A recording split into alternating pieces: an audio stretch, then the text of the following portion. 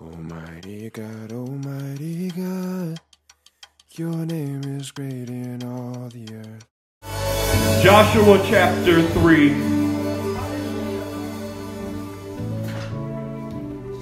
Joshua chapter 3, verses 2 through 6, and then 14, 15, and 16. Joshua chapter 3, starting at verse 2. And it reads in the New Living Tra- Translation like this Three days later, the Israelite officers went through the camp, giving these instructions to the people.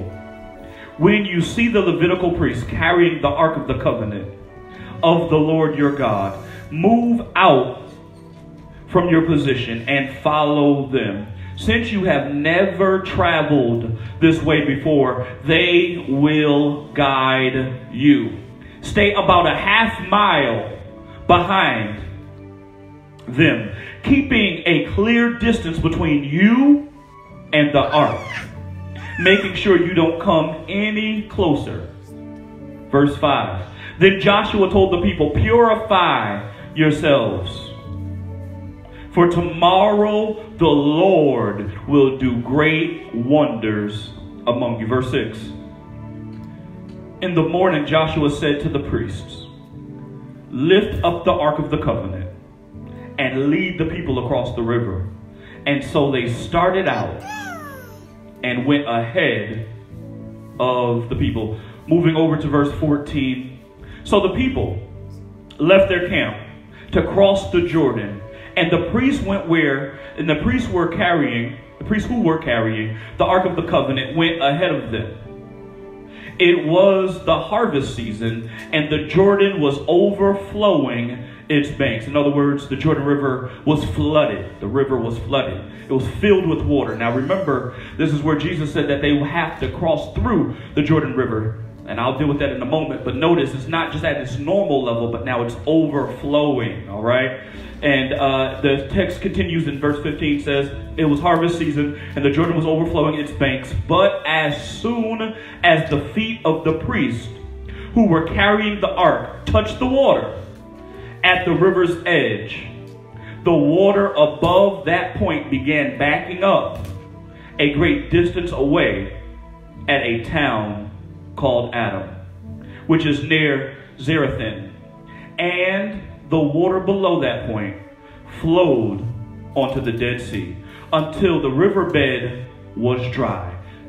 Then all the people crossed over near the town of Jericho. Then all the people crossed over near the town of Jericho. I need you to use your outside voice and say, Hey neighbor, Hey neighbor, you will you will cross over. cross over. Take your seats.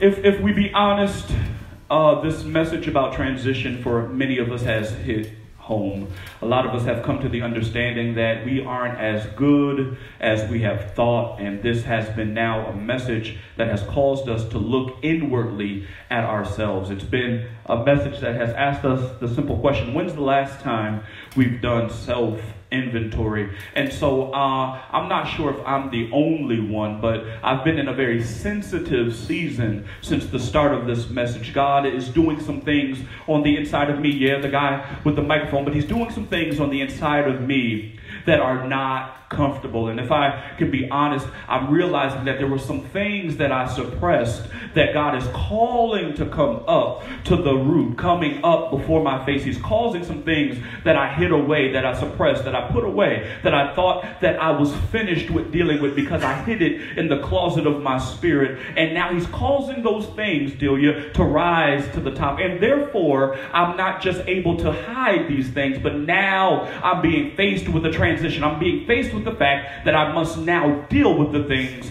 that I've hidden. And I'm not going to hold us for a very long time on today. Uh, but I've got three points as you've already guessed, and I really want to go through these because as we are transitioning, every word that God has given us has been very specific to what it is that's going on on the inside of us, and I feel like this is no different. And so today, point number one is you must understand that you have never been this way before. I know you've been in church. I know you know what to do when it's time to clap. I know you know when it's time to yell. I know you know when it's time to dance, but you have never been this way before. And so, point number one comes to us and says, in this transition, this is not like the last time. This is not like the last season. This is not like the last church. This is not like the last move of God. But this time, it's different. If we read very good in our text, we notice that it said the children of Israel have never been this way before. They're going a way that has yet to be chartered. And I'm talking to two of you because you notice that God wants to bring you to a place of prophetic fulfillment. He wants to bring you to a place of greatness. And you have never been this way before. And if I can just be the prophet that I am, not only have you never been this way before, but mama's never been this way before. And daddy's never been this way before. And the uncle that thinks he knows everything, he's never been this way before. And so for this way, there is no blueprint. There's just a voice. Y'all not talking to me. There is no blueprint for where God is taking us. He's just leading us and guiding us by his voice. And so when you get to places like this, please keep in mind, please uh, continue to understand that you have never been this way before. So the GPS is going to be God's voice. And you're just going to have to allow it to lead you and guide you because you don't know where you're going. You've never been this way before. You don't know what's up ahead. But you just have to trust so much his voice that whichever way you go, it's the right way as long as you're listening to God. And so, uh, transition, when we talk about this place of transition, when we talk about coming to this place, Tanisha, of uncertainty, we're talking about a transition inside, because we understand it's internal, that is testing now our faith. It's a test of our faith. It's saying, okay, um, um, you said that you'll serve me. Now I'm going to put your faith on trial. You said that you'll obey me. So I'm going to put your faith on trial. You said you'll go where I'll send you. So now I'm sending you somewhere. Will your faith respond correctly? Will your faith say, okay, um, I want you now. I want you now. I want you now to respond in faith. Yeah, there it is. Every response has to be a response in faith. Every action must be an action in faith. In this move, in this season, in this season, you have to now move in faith. You have to now move in faith because this transition is not about just you, but it's about your line, it's about your lineage, it's about your family, it's about your community, and it's a move of faith. It's a faith walk, it's a faith season. And so, uh, in this, we have to be very sure that we do uh, what is necessary. And I looked here in our text and I said, okay, what did Israel do to ensure to ensure that their faith was sturdy? Well, what they did was they decided they decided to begin to now follow the leader. I know we are in this day and age where we always are talking about individuality, but the truth of the matter is God gives good leadership. And so whenever you're trying to figure out how to get from here to there, whenever you're trying to figure figure out how to transition properly. There is a time that you must follow the leader. I know y'all don't like games, but there was a game when I was in school called Simon Says, and whatever Simon did, you had to do. And we have to get to this place where it says, okay, God, what do you want me to do? And whatever you do, I'll do. Whatever you say, I'll do. And so you have to understand that it's not Simon says in the season, it's not what Mama says in the season, but it's what God says in the season. And so when He says, lift his, my hands, I'll lift my hands because I understand that it's working something greater than I even know. God understands what's going through. Well, eh, eh, let me let me let me help you out. Let me slow it down a little bit. God sends us a way that we've never been so that we can get results that we never had. Okay. God sends us a way that we've never been, but he is not shocked by the path that he sends us. He understands what's on our route. He understands what's on our road. And so since he understands it,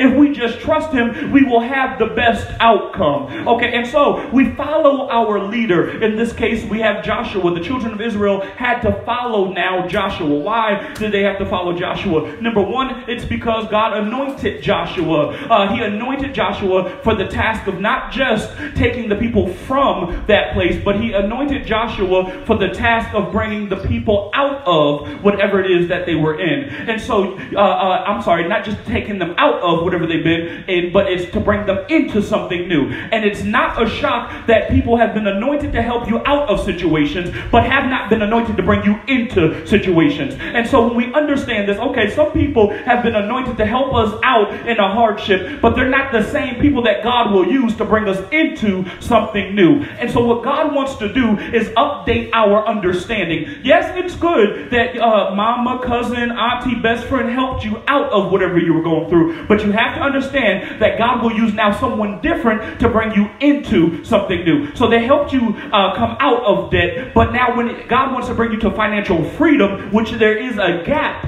He's going to use different people to bring you in to the financial freedom. And so uh, it's good that they helped you out in a hardship, but you have to be able to accept the help of who's going to help bring you into your new season. And so you must begin to follow the leader because the leader uh, has guidance and the leader has instruction. I know that you hear from God, but you don't have the guidance and the instruction for a place that you've never been. So God anoints the leadership to begin to say, okay, I know you've never been here before, Denise, but here's some guidance. I know you've never been here before, Will, but here is some instruction. And as you obey the instruction, you'll notice that one step becomes two steps, and you're now getting closer to what it is that God has impregnated your spirit with.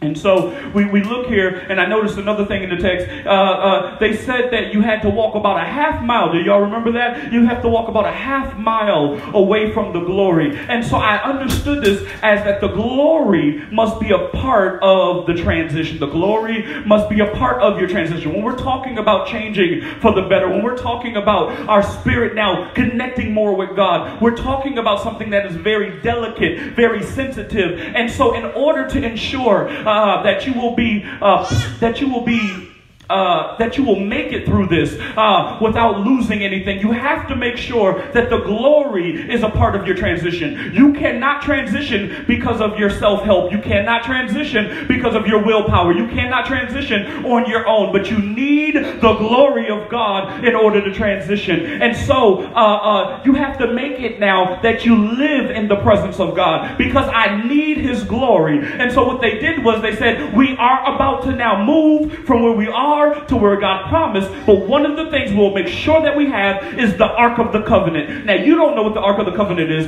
but it was a representation of the presence of God. Inside of the Ark of the Covenant, no, no, they had the Ten Commandments. And so, wherever the Ark of the Covenant was, that's where the tangible presence of God was. And so, if you got too close and you weren't a priest, you would die. And so, God says, okay, I don't want you to die in transition. So, I need you to stay a certain amount of feet away. I need you to stay about a half mile away, but I need you to always watch it. Keep your eyes on the ark. I want you to stand far enough back that you can always see the ark. And so, whenever we're in the midst of transition, you have to stay close enough that you can feel God, but you got to stay far enough away that you can see God. And so, sometimes what happens is we want to be all close up and we're missing out on what God is trying to show us. We're looking at the people holding the ark, but we're not seeing the presence of God. And so, I want us to begin to understand that we need to back up up and we need to see God. Uh, yeah, I, I, we need to back up and we need to see God. You can't handle the presence any old type of way. So they rested the presence of God on the shoulders of the priest. God help. Uh, uh, they took the ark and they didn't just give it to anybody. They didn't give it to the person who just joined the church. They didn't give it to the person who just started coming. But they said, okay, when we uh, are about to move now into a territory we've never been, we have to take the ark and we have to put it on the shoulders of the priest. We have to take the presence of God and we have to make sure that it's ushered in before we go in a certain way. And whenever we talk about leadership, Whenever we talk about leadership, we're talking now about people who go before. We're talking about people who go in advance. And so if you're a leader at your job, if you're a leader in the community, you're not uh, operating at the same speed as everybody else, but what you're doing is you're going ahead of them. And so we call that trailblazers. Trailblazers are the people who create the path, not the people who walk in the path. And so when you understand this, when your sacrifice and your giving and all that you're going through is going to help all of those that come behind you, oh God. And so I'm not I'm not worried about what I have to sacrifice today because I understand the path that I blaze is going to allow others to come through. I understand the thing that I give up for, my children will be able to operate in. I understand that what this church does here is going to now build a life for Stevie and build a life for Bubba and live, build a life for Tristan. So I'm not worried about what we have to sacrifice now because our sacrifice today will build a better tomorrow. Almighty God, your name is great in all the earth. Your name is great in all the earth, Almighty God, Almighty God. Your name is great in all the earth. Your name is great in all